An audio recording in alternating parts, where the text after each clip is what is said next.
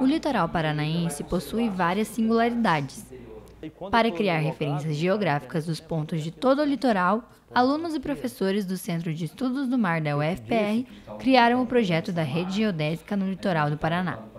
São chapas de alumínio de alta qualidade com o QR Code impresso. Com a ajuda da Universidade Federal do Pampa, o QR Code pode ser lido e acessado a qualquer momento por um aplicativo.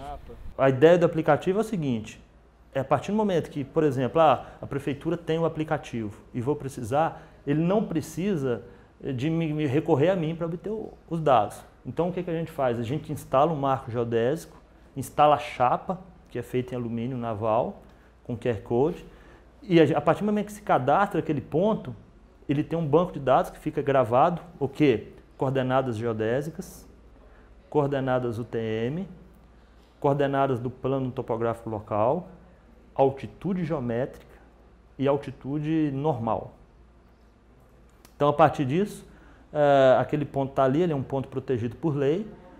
O usuário, ele, com o dispositivo móvel, ele lê o QR Code e todos esses dados saem no celular dele, para ele poder usar o ponto. A rede geodésica integra um dos eixos do projeto Bahias, realizado pelo CNPq. É, ele abrange todo o país e possui uma série de frentes para ajudar a estudar e entender os desafios de gestão de sustentabilidade enfrentados pelas baías do Brasil, além de simular situações de risco.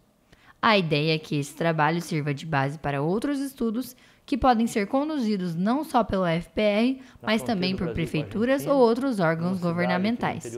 A nossa ideia é justamente essa, é conseguir promover essa integração, lançando mão dessa metodologia de análise de redes, né? porque várias iniciativas de fazer abordagens holísticas já foram feitas, mas se você observar os produtos finais, eles são focados, né? são compartimentalizados. Né? Então, essa seria a nossa proposta. Né?